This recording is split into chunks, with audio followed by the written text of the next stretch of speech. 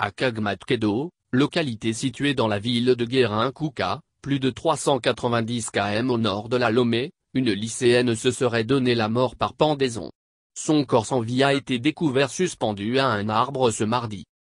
Selon les informations, la victime serait en classe de seconde au lycée de Guérin-Kouka 1. Pour des raisons inconnues des parents et de son entourage, la jeune fille s'est suicidée. Cette dernière a été retrouvée pendue à un arbre laissant sa famille inconsolable.